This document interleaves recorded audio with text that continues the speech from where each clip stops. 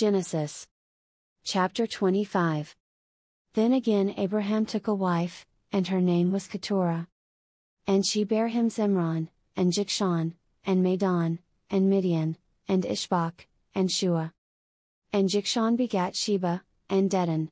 And the sons of Dedan were Asshurim, and Letushim, and Leummim. And the sons of Midian, Ephah, and Epher, and Hanoch, and Abidah, and Eldaah. All these were the children of Keturah. And Abraham gave all that he had unto Isaac. But unto the sons of the concubines, which Abraham had, Abraham gave gifts, and sent them away from Isaac his son, while he yet lived, eastward, unto the east country.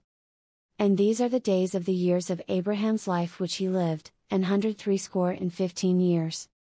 Then Abraham gave up the ghost, and died in a good old age, an old man, and full of years, and was gathered to his people. And his sons Isaac and Ishmael buried him in the cave of Machpelah, in the field of Ephron the son of Zohar the Hittite, which is before Mamre. The field which Abraham purchased of the sons of Heth, there was Abraham buried, and Sarah his wife. And it came to pass after the death of Abraham, that God blessed his son Isaac, and Isaac dwelt by the well Lahairoi. Now these are the generations of Ishmael, Abraham's son, whom Hagar the Egyptian, Sarah's handmaid, bare unto Abraham. And these are the names of the sons of Ishmael, by their names, according to their generations, the firstborn of Ishmael, Nebajoth, and Kedar, and Adbeel, and Mibsam. And Mishma, and Dumah, and Massa. Hadar, and Tema, Jetur, Naphish, and Kedemah.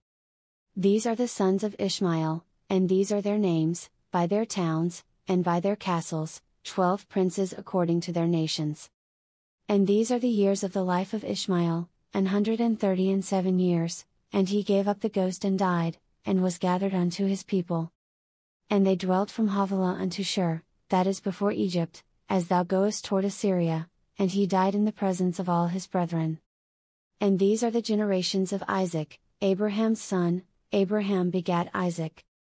And Isaac was forty years old when he took Rebekah to wife, the daughter of Bethuel the Syrian of Padanaram, the sister to Laban the Syrian. And Isaac entreated the Lord for his wife, because she was barren, and the Lord was entreated of him, and Rebekah his wife conceived. And the children struggled together within her, and she said, If it be so, why am I thus? And she went to inquire of the Lord. And the Lord said unto her, Two nations are in thy womb, and two manner of people shall be separated from thy bowels, and the one people shall be stronger than the other people, and the elder shall serve the younger. And when her days to be delivered were fulfilled, behold, there were twins in her womb. And the first came out red, all over like an hairy garment, and they called his name Esau. And after that came his brother out, and his hand took hold on Esau's heel, and his name was called Jacob, and Isaac was threescore years old when she bare them.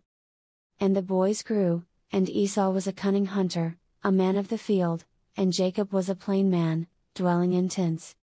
And Isaac loved Esau, because he did eat of his venison, but Rebekah loved Jacob. And Jacob sought pottage, and Esau came from the field, and he was faint. And Esau said to Jacob, Feed me, I pray thee, with that same red pottage, for I am faint, therefore was his name called Edom. And Jacob said, Sell me this day thy birthright. And Esau said, Behold, I am at the point to die, and what profit shall this birthright do to me? And Jacob said, Swear to me this day, and he sware unto him, and he sold his birthright unto Jacob.